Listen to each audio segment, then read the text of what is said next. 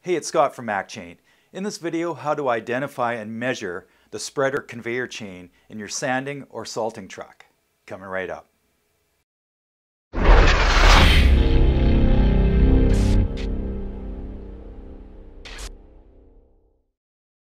Working with customers to identify and measure conveyor chains in a spreader application can sometimes be a challenging process.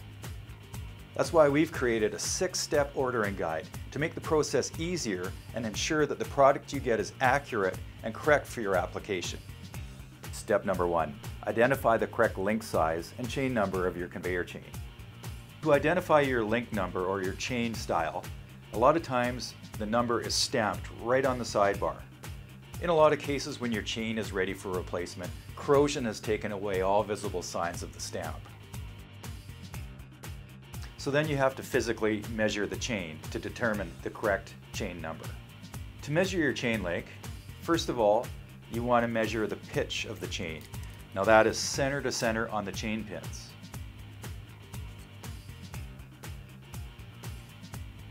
That'll give you your chain pitch.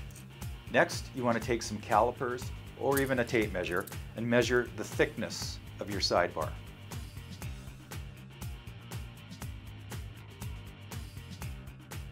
You then want to measure the sidebar height or your link height.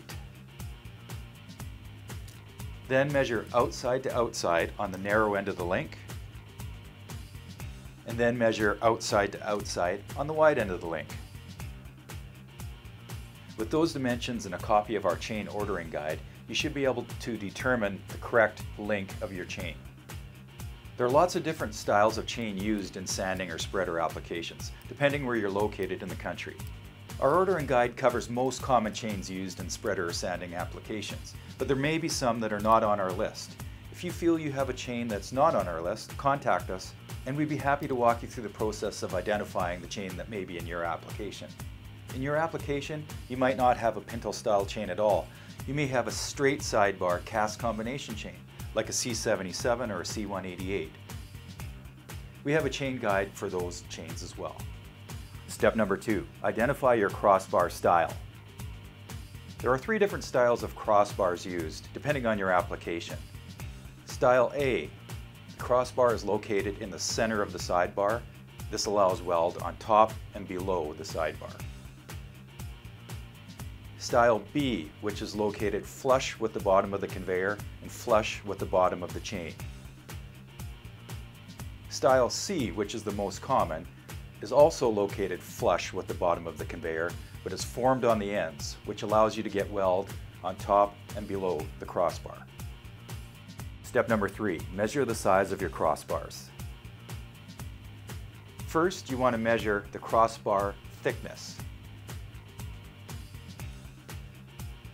Then the width of the crossbar.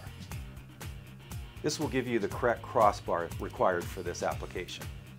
Step number four, a critical step, determine the center to center of your conveyor chain and sprockets. To get your center to center, measure from the narrow end of the link, from the inside of the inside sidebar to the inside of the outside sidebar on the corresponding link. Step number five, determine the spacing of your crossbars. So to determine your spacing, locate a crossbar and that becomes zero. Now count up to your next crossbar. This is every third pitch. In this example, this is every third pitch. Step number six, the final step of this process, measure the length of your conveyor chain.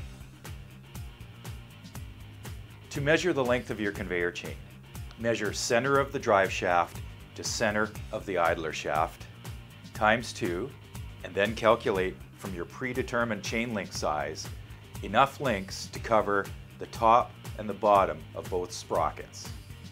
So with our ordering guide all filled out, it now makes the process of getting a replacement chain a lot easier and helps ensure that the product you get is accurate and exactly what you need for your conveyor.